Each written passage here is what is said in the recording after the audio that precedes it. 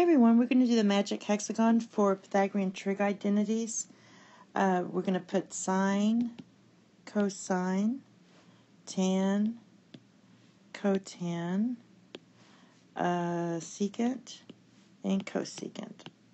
Again, all the C's are on the right side here. And you have to go in this order, and hopefully you watched the previous videos, but these are for the identities, and this is a little different so what we're going to do is um, just use this one here and draw like this.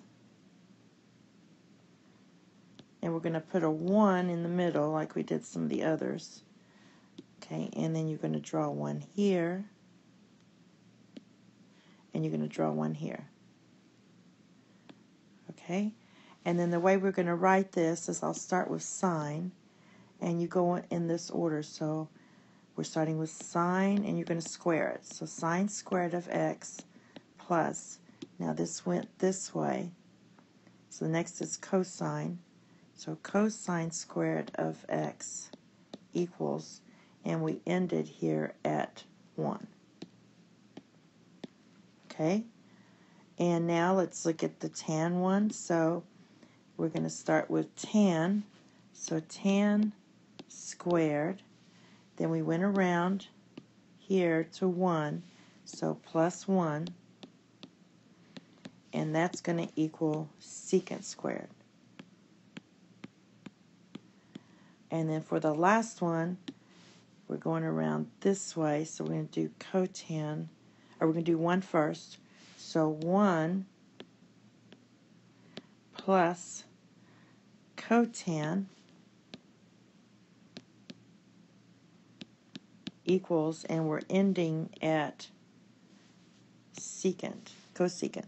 So we're ending at cosecant, and that would be cosecant squared. And that's your Pythagorean identities. Now you could do more with this and rearrange this, but I think it's easier just to remember it this way. But of course you can go backwards and say secant squared minus 1. For example, I'll do 1 real quick. So if we start here, we could say start here and go the other way. I'll do it in green. We're going to go this way.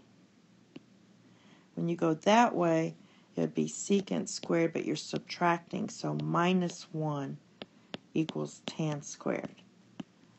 And you could do um, the rest of them the similar, similarly. We could go backwards and do it the other way. So we could say, I'll do one more. I could say start here and go this way. So I could say cosecant squared minus cotan squared of x equals R1. And you can also do uh, the, uh, the sine. So you could do 1, go that way and say 1 minus cosine squared equals sine squared of x. Or you could go back the other way, and same with the others. You could go 1 and go that way. 1 minus sine squared equals cosine squared. It can get a little confusing. But um, so there's a lot you can do with that. And that's all. So thank you and have a nice day. Bye bye.